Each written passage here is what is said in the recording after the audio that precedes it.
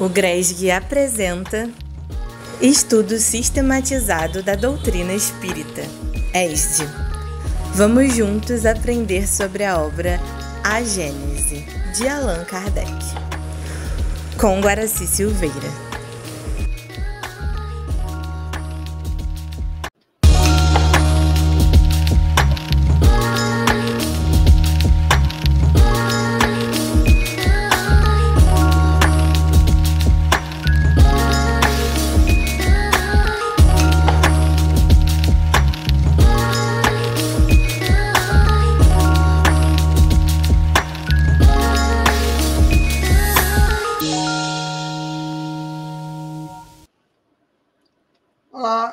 Amigos, olá, minhas amigas.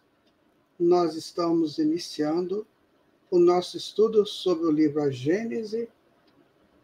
Hoje nós vamos fazer o estudo de número 13. E vai ser muito importante aquilo que Allan Kardec coloca né, naquele monumental livro, né? porque se você pensar bem, se a Gênese não fosse escrita por Allan Kardec, a doutrina espírita estaria carente de informações que compõem aquele livro. Então eu convido você a, a se deixar um pouquinho essa coisa que a Gênesis é um livro difícil, Evolução em Dois Mundos é um livro difícil, Mecanismos da Mediunidade. O difícil é aquilo que a gente não sabe ainda. No momento em que nós passamos a nos interessar por aquela coisa, o difícil vai se tornando fácil e nós vamos nos aprimorando dentro daquilo que nos compete fazer. Afinal, nós estamos num processo evolutivo. Né? O que, que, o que, que é, se modifica né, no homem depois que ele passa pelo, pelas feiras do animal?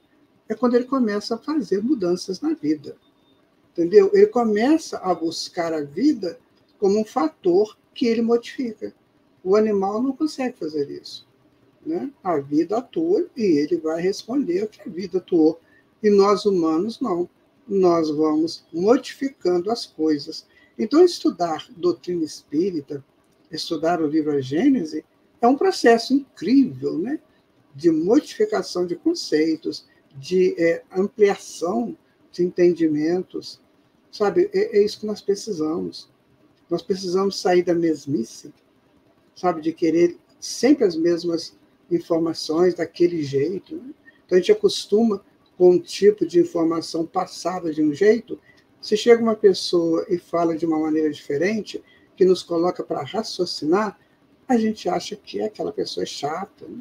que eu não estou entendendo nada, que não se faz entendido por ninguém, quando na verdade só está ampliando a sua capacidade auditiva e visual.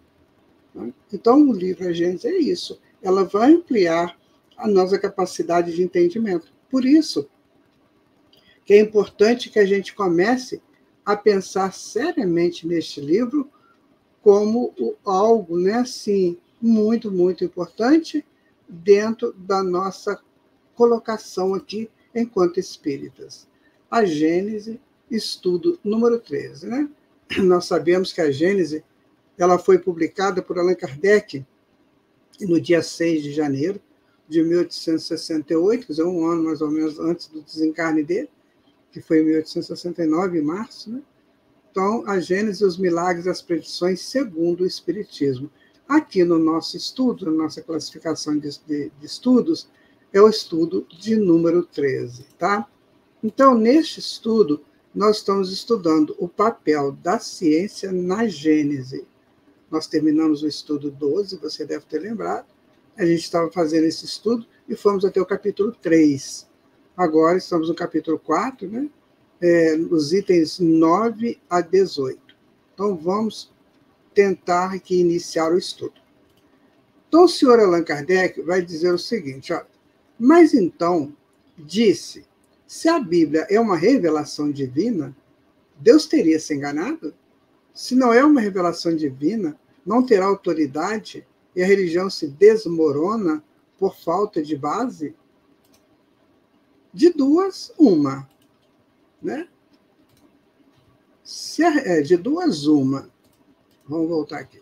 Se a ciência não tem razão, ou a tem. Ciência tem razão ou a tem, né? Meu Deus. Se o tem, só poderá fazer uma opinião nada contrária sobre a verdade. Não existe revelação que possa prevalecer sobre a autoridade dos fatos. O que, que Kardec está colocando? Vejamos, né?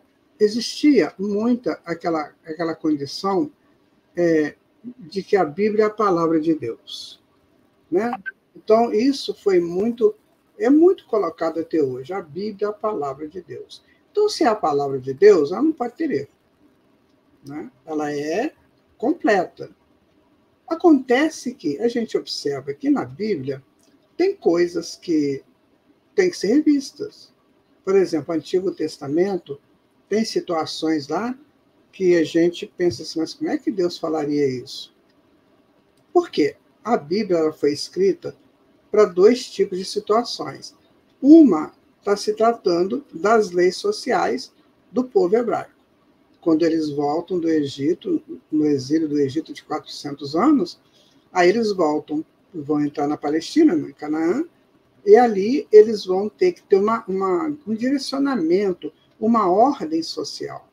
Aí Moisés criou essa ordem social, que é para aquele povo, naquele tempo, de 3.200 anos atrás. E às vezes você vê lá umas coisas na Bíblia, você fala assim, mas como que é isso? Agora, tem um detalhe. A Bíblia ela tem muita metáfora. Então, nós temos que saber entender essas metáforas também. Percebe? Às vezes está falando uma coisa, a gente entende de maneira errada, de maneira diferente. Então, a Bíblia não é um livro para ser lido, é um livro para ser estudado. Estudado, fazendo é, comparações com outras informações. Né? Então, eu aconselho você, se você quer estudar a Bíblia, tem que fazer um estudo comparado. E com alguém que entenda de símbolos, que ali tem muito símbolo. E, e tem a outra parte no Antigo Testamento, que é a lei, né? A lei mesmo que eh, Moisés colocou como Torá, né? que ali vai falar sobre a criação do mundo, ali vai falar sobre como é que Deus criou o primeiro homem, como é que foi criado o mundo, como é que as coisas surgiram, né? E tem a história dos hebreus saindo do Egito, ah, tem várias informações ali. E tem os dez mandamentos, que esse é imutável, né? Esse é o senhor Allan Kardec, ele coloca até no livro do Evangelho segundo o Espiritismo. Os dez mandamentos são imutáveis. Então, percebem? Nós temos o Antigo Testamento, que tem a lei, a Torá, cinco primeiros livros, né? Da Gênesis, do, do, do livro Gênesis, cinco primeiros livros, a lei. A lei para aquele, para aquele povo, povo hebreu. Depois nós temos vários outros livros, que são livros históricos, livros sapienciais, livros dos profetas, Está tudo no Antigo Testamento. Então, você não pode colocar tudo numa, numa cesta só. Tem que saber separar, né? O que, você quer estudar, o que, que você quer se inteirar. Então, um curso bíblico, ele demanda todas essas coisas. E a gente tem que ter noção exata, né? Do que eu quero fazer em estudando a, a Bíblia. Então, o Antigo Testamento Allan Kardec pergunta, mas aqui não é a lei, né? Vamos de novo na pergunta dele, né? É, ele vai fazer o seguinte, olha. De duas, uma. Ou a ciência não tem a razão, ou a tem. Se a ciência tem a razão, só poderá fazer uma opinião, nada contrária sobre a verdade. Não existe revelação que possa prevalecer sobre a autoridade dos fatos. Então, você tem a revelação, né? E você tem a ciência. O que Kardec coloca? Você tem uma revelação e você tem aqui a ciência. A ciência corrobora a revelação? Corrobora. Né? Agora, a ciência não está corroborando, a ciência está acima da revelação, então a revelação não existe. Que a gente vê muito aí é, comunicações mediúnicas de espíritos atrasados porque não quer dizer que está desencarnado, que é um espírito de luz. Né? Então, de espírito desencarnado que fazem revelações que não são condizentes com a verdade. Então você vê o bom senso. Então você tem uma revelação, um espírito fala alguma coisa, é preciso saber é, o que, que ele está falando, se aquilo constitui uma verdade. Se é uma verdade, não precisa de revelação, já existe. Então, revelação é alguma coisa nova, alguma coisa que a gente não sabe, que a ciência não sabe. Essa é a diferença. Tá?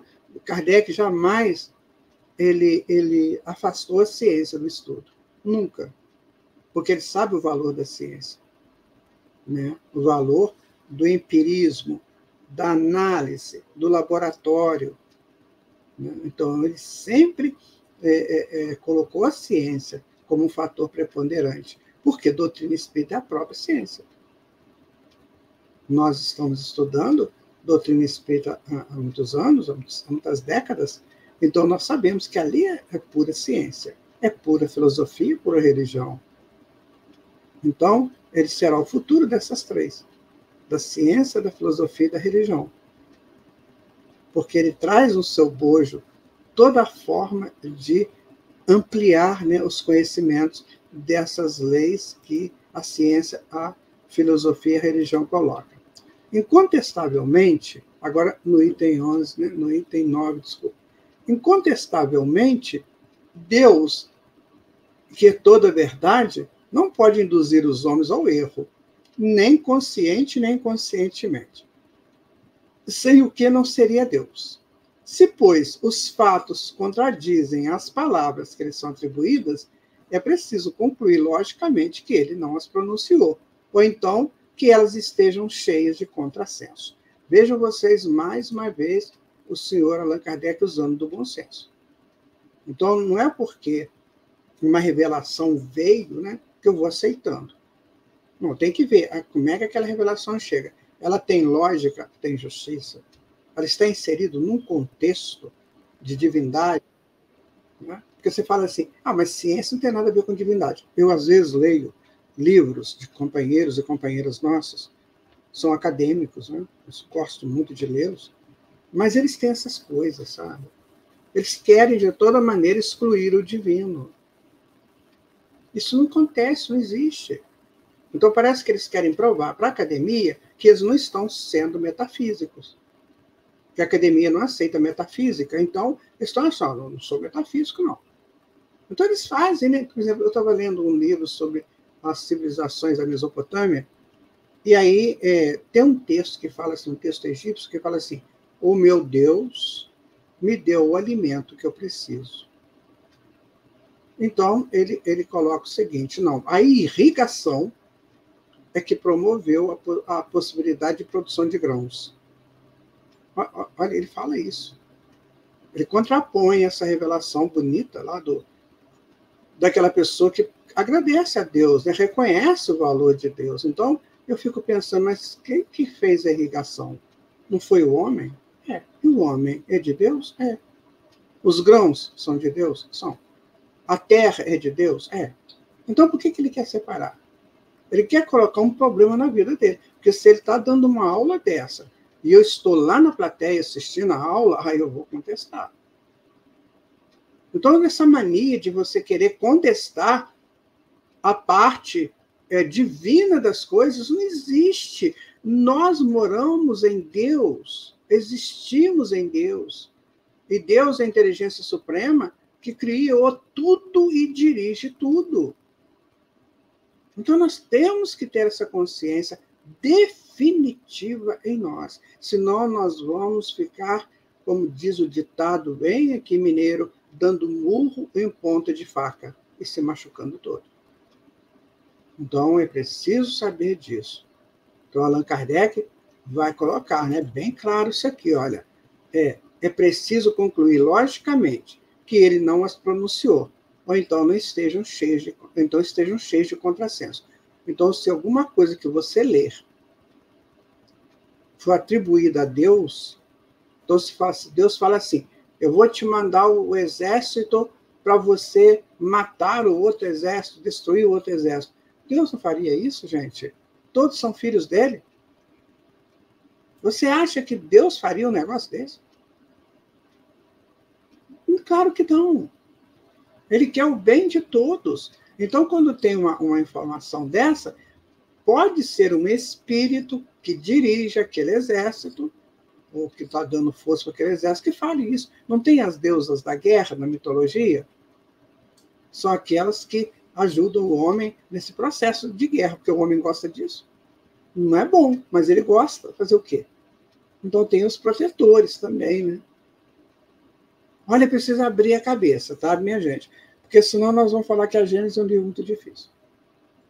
Então, tudo que chega, vamos ver se está dentro da lógica e da justiça de Deus. Se não estiver. Então, você pode medir isso pelas leis que você conhece, lei da gravidade, né?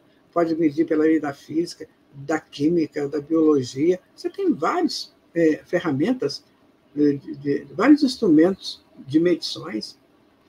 Né? Vamos continuando, então, aqui. Ó. É, se a religião sofre em qualquer parte dessas contradições, o dano não é o da ciência, que só pode fazer o que o seja, mas dos homens terem fundado prematuramente dogmas absolutos, dos quais fizeram uma questão de vida e de morte, sobre hipóteses suscetíveis de serem desmentidas pelo experimento. Eu fico pensando, sabe? Ainda tem pessoas que gostam de falar mentiras. E eles falam mentira com uma facilidade impressionante. Mas é preciso saber que toda mentira tem perna curta, que daqui a pouco o sujeito é desmascarado. E não está importando com, essa, é, com esse processo é, é de, de, social, né? de, de não ser respeitado. Porque o mentiroso não é respeitado na sociedade. Pelo contrário, ele é escrachado. Então é preciso tomar cuidado para a gente não sair pregando mentiras. Só porque eu acho que é isso, eu vou falar que é? Não, eu tenho que ter um embasamento. É isso que Kardec está colocando. Tudo tem que ter um embasamento. Né? Por quê? Se a religião ela sofre, né? É, é, essas, é, essas datas, essas contradições, então o dano não é o da ciência, que só pode fazer o que seja. Mas dos homens terem fundamentado, fundamentado prematuramente dogmas absolutos, dos quais fizeram uma questão de vida e de morte, sob hipóteses suscetíveis de serem é, acometidas pelo experimento. Não, de serem desmentidas pelo experimento. Vamos observar isso. Vocês, vocês conhecem essas pessoas que fizeram né, aquelas religiões de suicídio coletivo? Então, tinha gente que foi naquilo, né? foi na onda. Então, você tem que ter bom senso. Eu vou precisar suicidar para mostrar alguma coisa para Deus? Então, minha gente, é, é, é muito sério. Religião é uma coisa muito interessante, necessária, mas a gente precisa saber o que, que nós estamos fazendo lá. Não é? O que, que nós estamos fazendo lá? Tem a Opus Dei, né, aquela mortificação do corpo, como se eu bater no corpo, sangrar o corpo, estou libertando a alma. Que isso? Isso não existe. A modificação era do espírito, a modificação interna que nós temos que fazer. Né? E vamos ver aqui a continuação do raciocínio de Allan Kardec. Olha. Nós estamos agora no item 9, ainda, né? É coisas ao sacrifício dos quais é preciso se resignar bom grado ou mau grado, quando não pudesse fazer diferente. Quando o mundo marcha, a vontade de qualquer uns, a vontade de quaisquer uns, não podendo detê-lo, o mais sábio é de segui-lo e de se acomodar com o novo estado de coisas, do que se aferrar ao passado, que se degringola com risco de cair junto. Kardec ele estava fazendo esse comentário, acredito, porque na, na época de Kardec tinha religião arcaica que não mudava, que não muda, aquela coisa de séculos, né, fazendo a mesma coisa. E o espírito ele muda, ele transforma. Então, se o espírito não consegue é, achar né, uma, uma, uma, uma lógica naquilo que ele está estudando, ele abandona. Foi o que aconteceu no século XIX. Século XVIII, XIX, começou a abandonar a religião. Porque elas não mudaram, não evoluíram com o homem.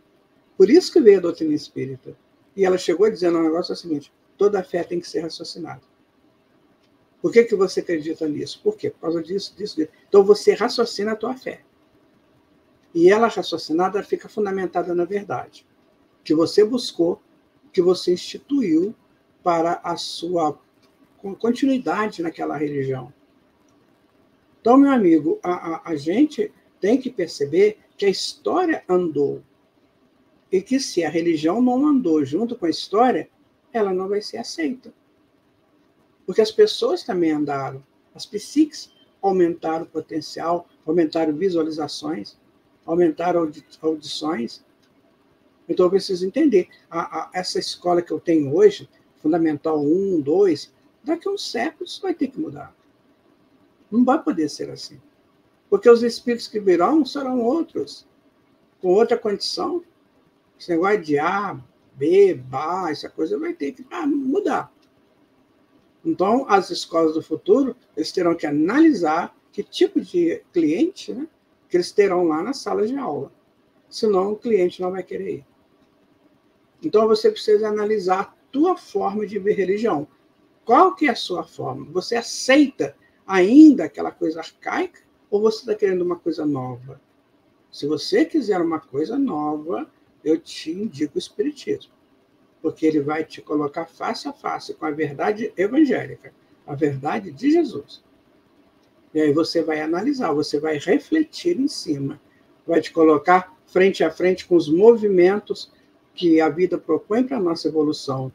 Nós somos imortais, nós reencarnamos, nós temos a forma de comunicar uns com os outros mediunicamente, o universo é cheio de mundos de vida, é cheio de instâncias para crescimentos, não são mundos áridos, secos, que não têm vida, a gente que não consegue enxergar. O nosso nível de, de visão é muito baixo.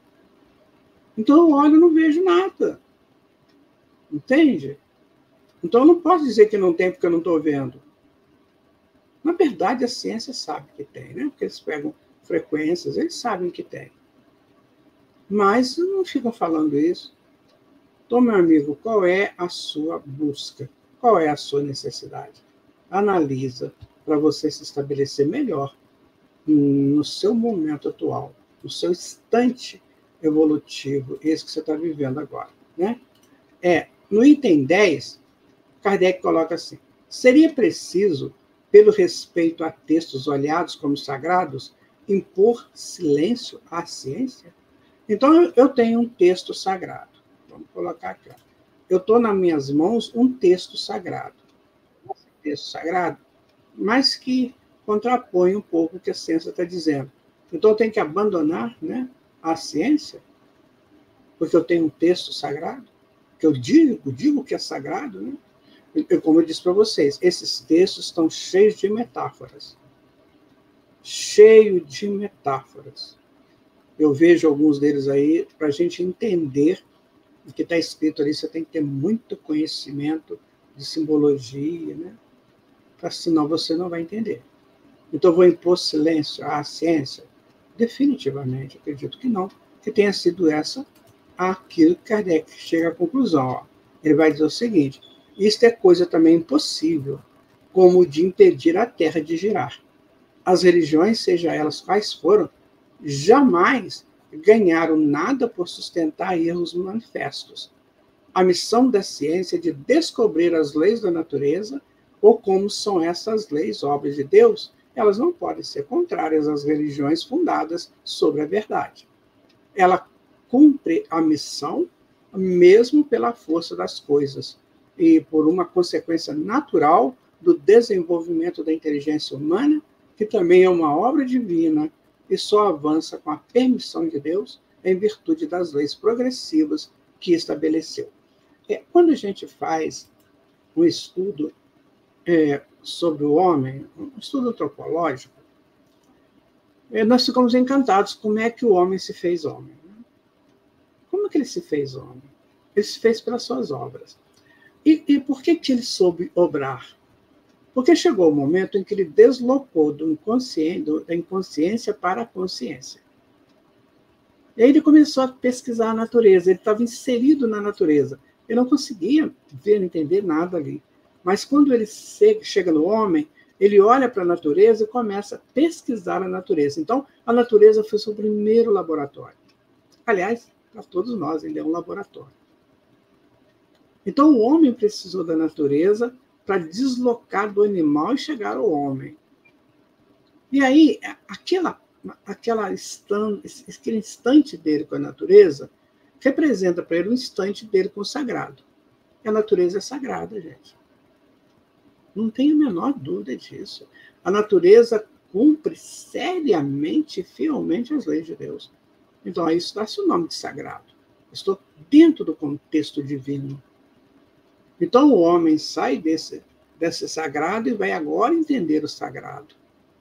Então, essas religiões que lhe foram dadas no início estão cheias do sagrado. Então, ele vai usar, sim, essa religião para ele crescer. Depois, mais à frente, ele vai estudar cientificamente. Então, por exemplo, eu vi lá na natureza, durante a minha, minha parte de animal, depois de homem, eu vi que a flor desabrocha. Eu vi a flor nascendo, desabrochando. Agora, na ciência, eu vou estudar por que, que ela desabrocha. Então, o porquê disso? O porquê que dá mamão no mamoeiro e não dá mamão no figueira? Por quê? Então, esse é o processo. A ciência vai me ensinar a entender aquilo com a qual eu convivi até aqui. Só que agora eu vou entender. É isso. Não tem dúvida. Então, eu, a, a, a, a ciência ela está expandindo a religião em mim, se eu ver por esse ângulo. Agora, se eu ficar com aquelas vertitudes, né? que fulano falou, que o seu sacerdote falou, que o pastor falou, que o monge falou, que não sei quem falou, eu tenho que analisar o que, que ele falou. Eu tenho que analisar. É isso que Kardec está colocando. Vamos fazer análises para ver o que é verdade o que é mentira, o que está dentro da lei natural. Entenderam, gente? Que não é tão difícil assim. Então, olha, a coisa que, a, isso é uma coisa também possível, como de impedir a Terra de girar. Então, a ciência estuda a Terra girando, né? As religiões, seja elas quais foram, jamais ganharam nada por sustentar erros manifestos. Então, quando a religião sustenta um erro, que é, é claro que ele está errado, né? como, como a Igreja Católica sustentou que o Sol girava em torno da Terra, e Galileu quase foi morto por causa disso, ele contestou isso.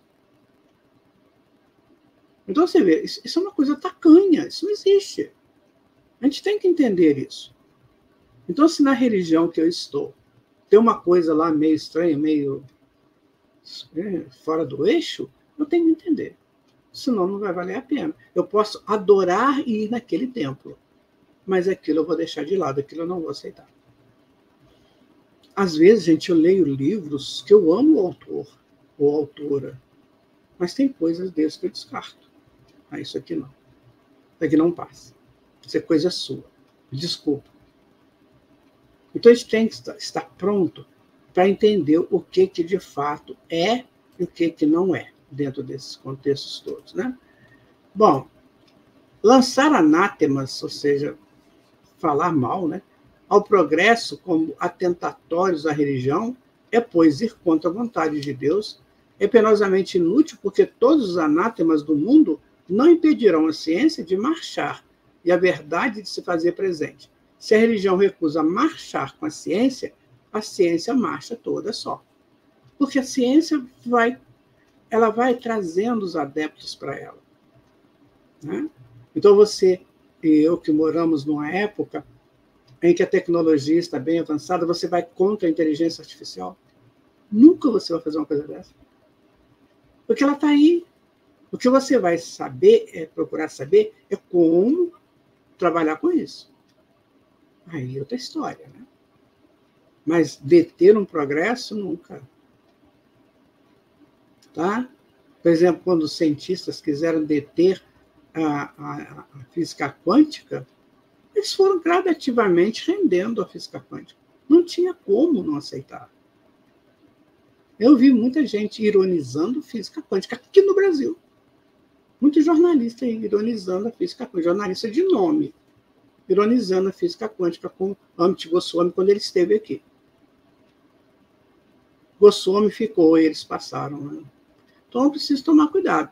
A gente tem que entender que a ciência ela está na pesquisa, ela está em busca da verdade. Se ela também lançar alguma coisa meio estranha, ou ela não quer dizer a verdade, ou ela não sabe da verdade. Então você vai pela lógica, sempre isso, lógica e justiça, né? Kardec foi essa criatura, né? Sempre buscou isso, né? Item 11, né? As religiões estacionárias podem somente temer as descobertas das ciências. Essas descobertas só serão funestas as que se deixarem distanciar pelas ideias progressivas, imobilizando-se no absolutismo de suas crenças. Elas fazem, em geral, uma ideia tão mesquinha da divindade que não compreendem que assimilá-la à leis de natureza revelada pela ciência é glorificar a Deus por, por as suas obras. Mas, em sua cegueira, elas preferem prestar homenagem ao espírito do mal, uma religião que não esteja, de alguma forma, em contradição com as leis da natureza, não teria nada que temer com o progresso e ele seria invulnerável. Tem pessoas até hoje, mesmo, gente, nós estamos no século XXI, né, que fala que Espiritismo é obra do demônio. Essas pessoas não conhecem o Espiritismo, não estudam o Espiritismo, porque se estudasse, não falaria uma bobagem desse porte. E essas pessoas nem sabem o que significa a palavra demônio. Demônio significa mensageiro, é uma palavra grega. Não, é obra do Satanás. Satanás significa inimigo. Quando que o espiritismo é inimigo das pessoas? Só que eles confundem espiritismo, doutrina, como nós estudamos aqui, com é, manifestações mediúnicas que existem em todos os lugares, inclusive no espiritismo. Só que o espiritismo trabalha a forma de melhor comunicação mediúnica. Agora, estabelecer lá uma casa que tem manifestações mediúnicas e dizer que aquilo é espírita, eu tenho que ter noção do que eu estou falando, do que eu estou vendo. Espiritismo não faz mal para ninguém, só o bem. Então, se a pessoa vai numa casa aí que se diz espírita, que está fazendo mal, que aceita fazer o mal para os outros, ou tentar né, fazer o mal, ah, isso não é espírita, não, tá? Então você não pode falar que é espiritismo. Você tem que estudar espiritismo. Meu amigo, minha amiga, eu estudo Espiritismo há cinco décadas. Eu jamais falaria uma bobagem deste porte. Então tome cuidado. Porque você pode ser desmascarado ou desmascarada numa hora dessa. Sabe? Então você fala para umas ovelhas que não estudam. Então você fala o que quiser. Nós aqui do Espiritismo, nós colocamos abertamente. Isso que eu estou falando agora, isso vai para o YouTube, né? Isso vai ficar aí para todo mundo ouvir. Eu não tenho receio disso. Porque eu estou falando a verdade. Não estou contrapondo nada a ninguém. Só estou colocando a verdade. Então, eu preciso estudar o livro dos médiuns, quando o caso é comunicação mediúnica. Preciso estudar o livro dos espíritos, quando a, o, o caso é a fundamentação doutrinária do espiritismo. Aí sim, aí você vai estudar, aí nós vamos conversar. Certo? Cuidado com isso, sabe? Allan Kardec vai dizer isso. Olha, se a tua religião é estacionária ou ela pretende denegrir outra religião, não, não, não vale a pena. Ela não está respeitando a religião do outro. Né? Se a tua religião não aceita que a ciência pesquise a, a, a, a natureza, também não vale a pena. Porque a ciência só está é, buscando entender aquilo que está aos nossos olhos. Né? Então, quando a ciência começa a dizer coisas da astronomia que a gente não tem chegado, nem mesmo a ciência tem tanto, né? ela só vê pontos, mas ela não sabe ligar os pontos. Sabe aquele jogo de ligar ponto? Ela vê os pontos, mas ligar ela não sabe. Ainda não é o momento para isso. Um dia vai saber. E vai entender que toda a galáxia é uma cidade sideral liga-se os pontos para uma cidade. Mas isso é para frente, não é por agora. Né? Então, se a gente estuda a natureza Cientificamente, Kardec diz: estamos glorificando a Deus pelas suas obras. Né? Então, veja como é importante. Você que, que é estudante, você que é professor, professora, que está estudando, né, que está lá na, na, na, nas faculdades ou nos preparatórios, entenda isso. Então, quando o professor ou a professora lança lá uma matéria de botânica, por exemplo, uma matéria de biologia, zoologia, ou se física, química, você está trabalhando o que foi criado por Deus. Você está estudando isso. Você não pode mudar isso, tirar isso de Deus, de Deus, definitivamente. Porque toda essa maravilha que você está estudando aí na faculdade só existe porque alguém criou. E quem criou foi Deus. Tá. Item 12. A Gênese compreende duas partes: a história da formação do mundo material e a da humanidade considerada em seu duplo princípio corporal e espiritual. A ciência está limitada à pesquisa das leis que regem a matéria. No homem mesmo, ela estuda o autório carnal.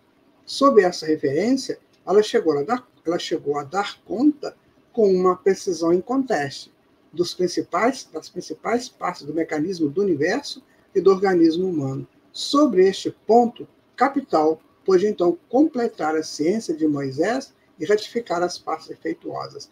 Então Kardec coloca, olha, na verdade a ciência estuda a parte material, tanto da natureza como do corpo humano.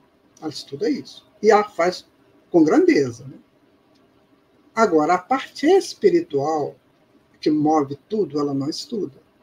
Ela ainda não aceita como estudo. Então, isso aí nós estamos aprendendo aqui no Espiritismo, aprendendo no Evangelho, aprendendo com é, ciências, né? que não são ciências ditas aí oficiais, chamadas de ciências ocultas, que a gente aprende muita coisa. Mas um dia a ciência, essa oficial, vai também trabalhar o ser humano. Aliás, é claro que tem estudiosos lá da ciência oficial que não tiveram receio de falar, igual o professor José Banksheim, lá de, da Universidade de Duke, nos Estados Unidos, da Carolina do Norte, ele falou com tranquilidade. Da parapsicologia, né? Parapsicologia é alguma coisa paralelo à psicologia. Então, isso um dia vai vir à tona, né? Aliás, a psique já é estudada bem mesmo, profundamente, pelos psicólogos, pelos psiquiatras. Então, um dia nós vamos ter a ciência vai complementar os seus estudos também trabalhando o espírito que move toda a matéria. Sem o espírito, a matéria é inerte. Ou ela nem existe. Então, um dia a ciência vai chegar também a esse conhecimento. Né? Não vai demorar muito. Ainda no item 12, mas a história do homem é considerado como ser espiritual prende-se a uma ordem especial de ideias que não é o domínio da ciência propriamente dita. E eis aí, por este motivo, não fez objeto de suas investigações. A filosofia, que tem mais particularmente este gênero de estudo em suas atribuições, só formulou sobre este ponto sistemas contraditórios, desde a espiritualidade pura até a negativa do princípio espiritual do, e mesmo de Deus, sem outras bases, além das ideias pessoais dos seus autores. Ela deixou, pois, a questão indecisa por falta de um controle suficiente. Então, é, é, é, Kardec coloca a filosofia, ela busca estudar o homem. Sim, sim. Mas até ela tem contradições nesse estudo. Às vezes nega a alma, às vezes nega até a existência de Deus. Porque você tem filósofos materialistas, você tem filósofos ecléticos, né? tanto faz uma coisa quanto a outra. Então, nós estamos, gente, num caminho, nós estamos no início deste caminho. Você, nós agradecemos aos gregos que pegaram suas informações da Suméria e do Egito. A gente agradece a eles pelos esforços que eles fizeram, enaltece Sócrates, agradece Platão, Aristóteles, mas aqueles que seguiram, né, tiveram seus enganos, mesmo eles tiveram seus enganos, o Platão e Aristóteles. Só que você não digo.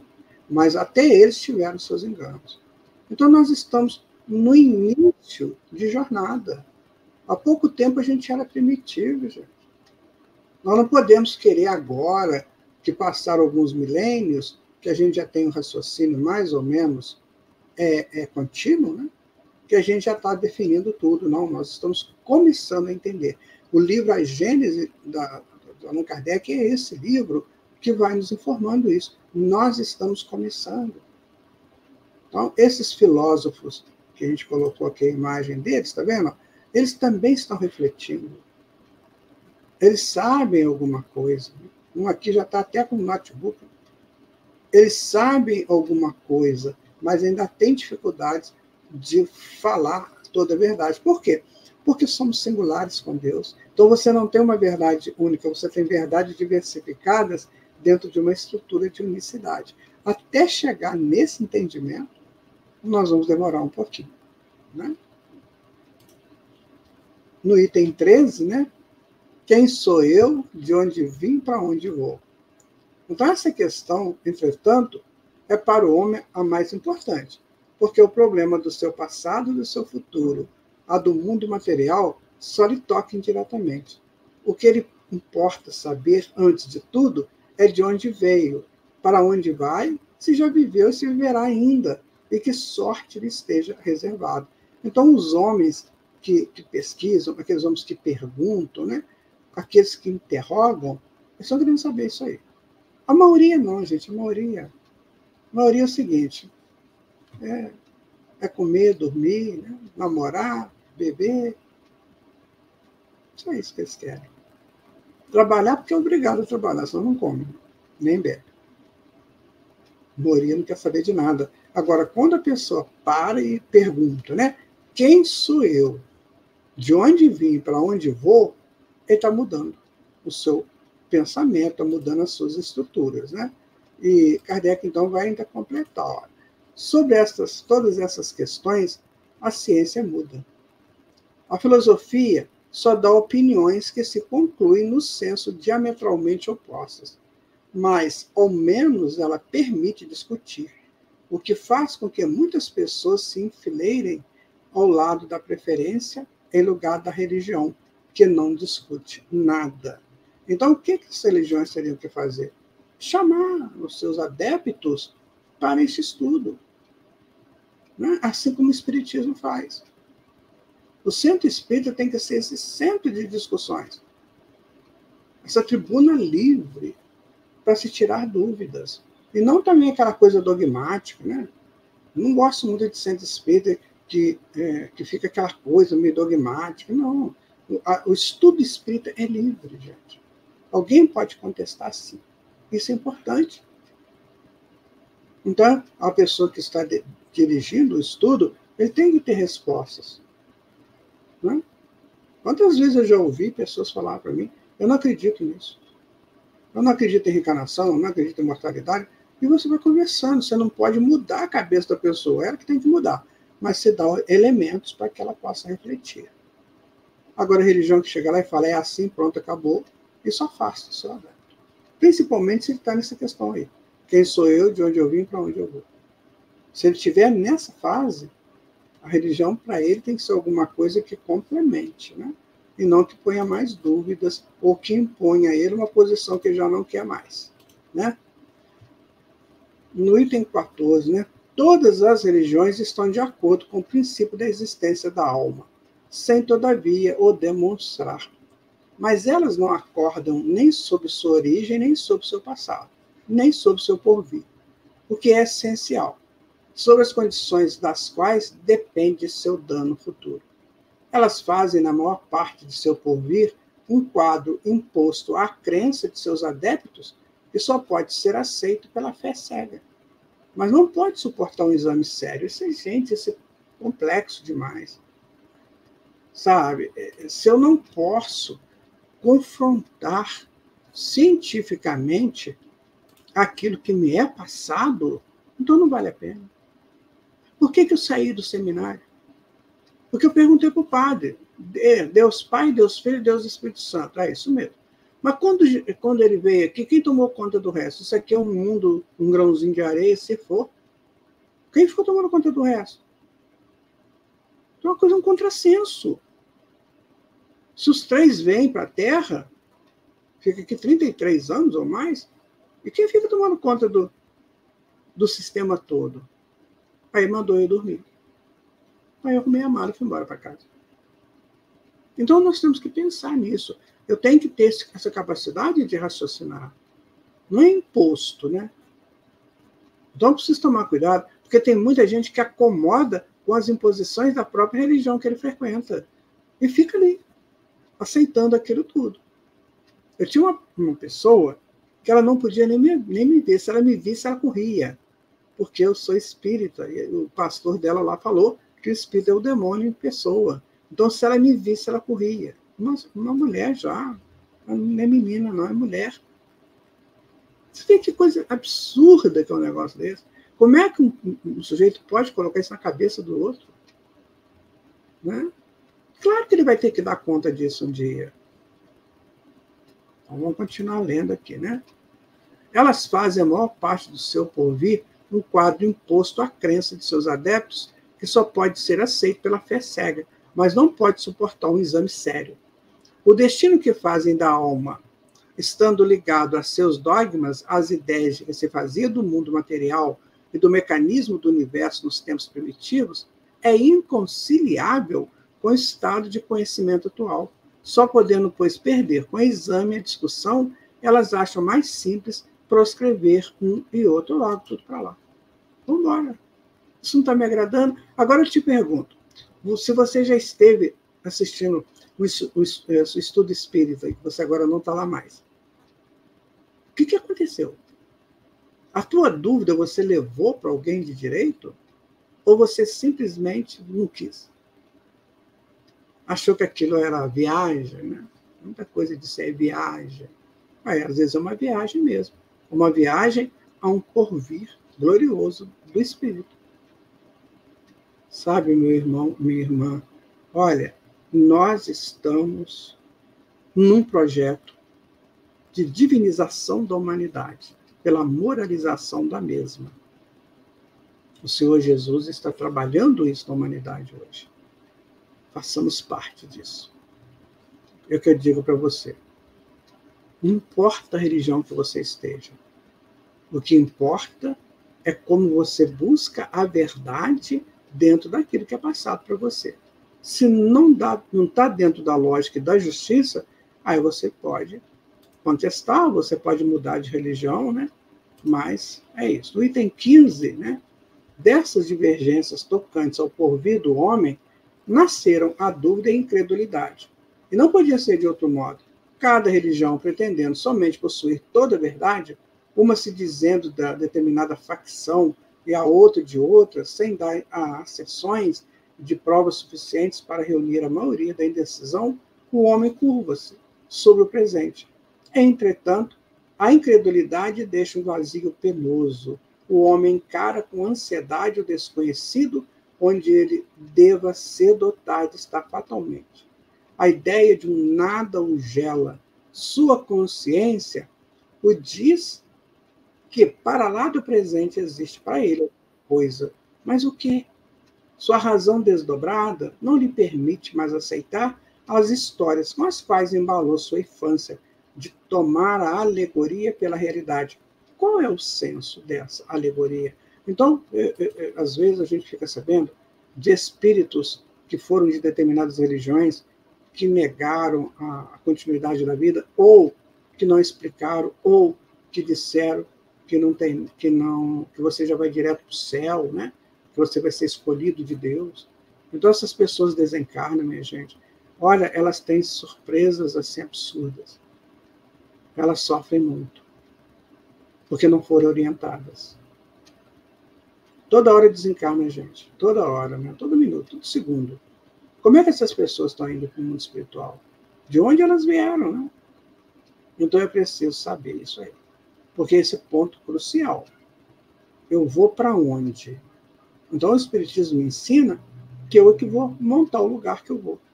pelas minhas ações. Eu tenho frequências mentais, frequências é, no meu corpo todo. Então, vou buscar frequências condizentes. Se a minha frequência ainda é da ironia, da brincadeira, do roubo, do, do assassinato, da corrupção, eu vou buscar essas pessoas. Se a minha frequência é outra, estou em busca do certo, estou em busca de Deus, eu vou buscar essas pessoas. Então, nós escolhemos o lugar que nós vamos depois do desencarne. Isso não é passado. Então, engana a pessoa que vai direto para o céu.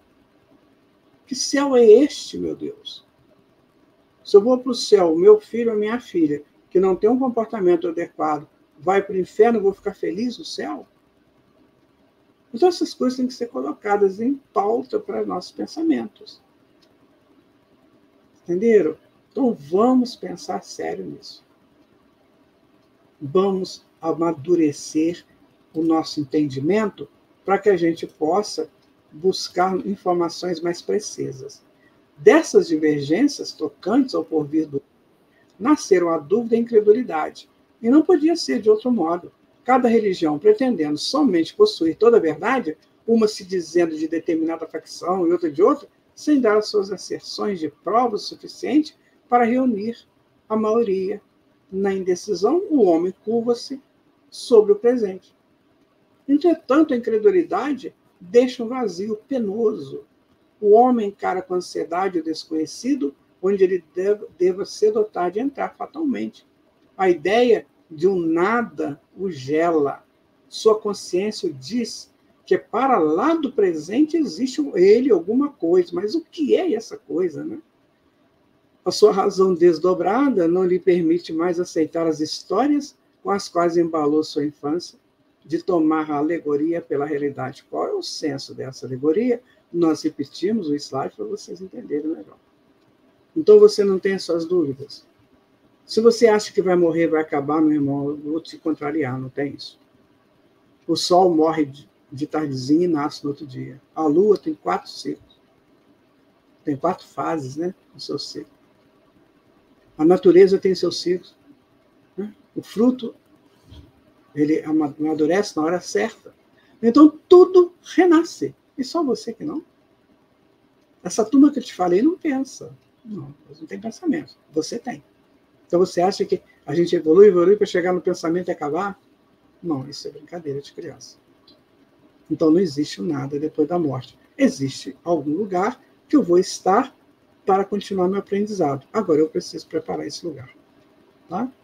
É isso que nós temos que perceber. No item 16, né, é, Kardec vai colocar o seguinte: ó, se a questão do homem espiritual permaneceu até os nossos dias no estado teórico, é que faltou meio de observação direta que se teve para constatar o estado do mundo material e o campo permaneceu aberto às concepções do espírito humano. Tanto que o homem não conheceu as leis que regem a matéria e que não pôde aplicar no método experimental, errou de sistema em sistema no tocante ao mecanismo do universo, a formação da Terra. Então, tem sido na ordem moral, como na ordem física, para fixar as ideias, faltou o elemento essencial, o conhecimento das leis do princípio espiritual. Este conhecimento estava reservado à nossa época, como das leis da matéria, foi uma obra dos últimos séculos. Vocês observam que nem as leis da matéria os homens sabem direito? Né? Se você vai para o colégio, vai estudar isso lá, você faz superficialmente, só para passar de ano. Claro que tem aqueles que se identificam, né? são as pessoas que têm mais né, é, vontade de aprender aquilo. Então, se até a lei da matéria, que é palpável, a gente é, deixa, não, busca, imagina as leis do espírito, que você tem que fazer introspecções maiores, filosofar mais, né? fazer comparações de nível é, não material. Então, nós estamos nesse processo de crescimento, sabe, amigos e amigas, e temos que aproveitar. Temos que dar conta desse processo para o nosso benefício. No item 17, até o presente, o estudo do princípio espiritual contido na metafísica tinha sido puramente especulativo e teórico. No Espiritismo é todo experimental com a ajuda da faculdade medianímica. Mais desenvolvidos aos nossos dias, e, sobretudo, generalizada e melhor estudada, o homem se encontrou na posse de um novo instrumento de observação. Então, a metafísica, é, ela, foi, ela estudava assim uma ideia, né? metafísica bem antiga, é lá dos gregos. Né? Então, ela estudava uma ideia. O espiritismo não. Ele mostra essa ideia agora pelas comunicações mediúnicas. Os espíritos dão. Se você ler o livro Céu e Inferno, do Allan Kardec, você vai ver que ali tem comunicações de espíritos de várias formas de vida aqui na Terra. Então, eles contam o que aconteceu com ele lá no mundo espiritual. Tem uma rainha que achava que tudo girava em torno dela, chegou lá, ela viu que não era. Aqueles mais simples né, tiveram é, é, surpresas super agradáveis. Então, é tudo muito lógico. Então, o Espiritismo pega aquele princípio da metafísica e coloca ciência naquilo. Então, assim que nós temos que pensar. Estudar ciência espírita, que você vai cada vez mais crescer nos entendimentos. Não tem nada de mais. É só você entender que a alma foi criada por Deus e está num processo contínuo de aprendizagem e de evolução. Né? É isso que é que nós vamos aprender no Espiritismo. Tá? Ainda no item 17, a mediunidade tem sido para o mundo espiritual o que o telescópio tem sido para o mundo sideral e o microscópico para o mundo do infinitamente pequeno. Ela permitiu explorar e estudar, por assim dizer, divisão, suas relações com o mundo corporal, isolar no homem vivente o ser inteligente e o ser material e de vê-lo agir separadamente. Uma vez em relação com os habitantes deste mundo, pôde-se seguir a alma na sua marcha ascendente, em suas migrações, em suas transformações, pôde-se, enfim, estudar o elemento espiritual. Eis o que faltava aos precedentes comentaristas da Gênese para compreendê-la e ratificar os seus erros. Está vendo a contribuição do Espiritismo? Então, nós vamos agora pegar, por exemplo, Gênesis, o livro Gênesis da Bíblia e vamos ler aqui, mas com uma outra ideia, com uma outra visão. Vamos pegar os postulados da ciência, da ciência, é, essa ciência oficial, e vamos trabalhar à luz do Espiritismo. Você vai pegar uma, uma filosofia e trabalhe à luz do Espiritismo. No, no, no seguinte quesito, né, de que a alma é a que dirige tudo. Tudo é feito para a alma. Tudo é para a alma se movimentar sempre no seu contexto de evolução. Por quê? Ela vive com Deus, que criou tudo. Então a alma é o centro. O mundo todo existe para os habitantes dele. Senão não teria razão de existir. E quem são os habitantes? Essas almas, esses espíritos em processo evolutivo, ampliando o seu potencial a cada geração. Então é isso que o Espiritismo nos ensina. Nada demais. É um contexto interessante que nós precisamos estudar. Agora, eu digo para você, precisa estudar. Né? Nós temos obras fundamentais, a codificação, que Allan Kardec deixou para nós, temos obras subsidiárias, que o Chico Xavier psicografou, e outros médios, então é preciso partir para isso, para a gente ter uma ideia mais profunda e mais acurada do que seja o Espiritismo. Né? Aí no item 18, Kardec vai colocar: o mundo espiritual e o mundo material, estando em contato incessante, são solidários um com o outro. Todos os dois têm a sua parte na ação na a parte de ação na Gênese. Sem o conhecimento das leis que regem o primeiro, que é o mundo material, será também possível constituir uma Gênese completa, tanto quanto a de um escultor da vida a uma estátua. Atualmente, apenas, se bem que nem a ciência material nem a ciência espiritual tenham dado a sua última palavra, o homem possui os dois elementos próprios para lançar a luz sobre este imenso problema. Era preciso, com toda necessidade, essas duas chaves para encontrar uma solução mesmo aproximativa.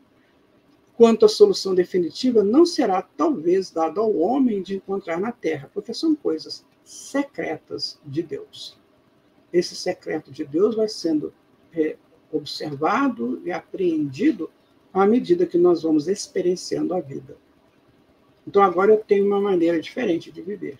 Então eu sei que eu estou num projeto de evolução, que eu estou guarnecido pelas leis que Deus criou para que eu possa progredir, mas eu tenho que participar desse movimento da vida, aprendendo, estudando, contextualizando em mim o que de fato existe. É isso que o Kardec está colocando. Então faça isso você. Tudo que você for fazer, por que, que você está fazendo daquele jeito? Por que, que lá na empresa que você trabalha, ou na instituição que você presta seus serviços, por que, que tem que ser daquele jeito? Que às vezes você pode contribuir para mudar, para melhor. Né? Então, o que, que Kardec está colocando? A alma é importante nesse contexto, mas ela é importante para ela. Ela não tem que sobrepujar-se a ninguém, a não ser que o que ela já sabe é superior ao que os outros sabem. Aí ela vai colocar como explicação, não como uma, uma superposição de valores onde ela se sente egoísta, orgulhosa, nada disso. Nós somos ainda muito pequenos para nos sentirmos superiores a alguém. Né? Então, meu amigo, estamos terminando aí o nosso estudo de hoje, né? É, continuaremos no próximo estudo, o de número 14, que vamos entrar no capítulo 5, Sistemas dos Mundos Antigos e Modernos. O nosso, vai começar o nosso próximo estudo. Faça a sua revisão, né? nós estudamos o capítulo 4, itens 9 a 18. Eu espero sinceramente que você esteja feliz com este estudo que nós estamos fazendo aqui. É claro, né, minha gente, você tem que, é, você tem que participar também. Você tem que se interessar também.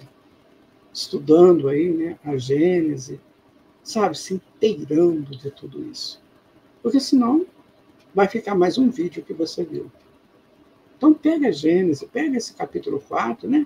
Nesses itens aí de, de, de 9 a 18, vê se você consegue eh, tirar, subtrair mais coisas, aí que é tão importante. Muito obrigado, tá? Pela sua presença aqui e vamos continuando com o nosso estudo da Gênesis. Muito, muito obrigado, tá? Até o nosso próximo instante.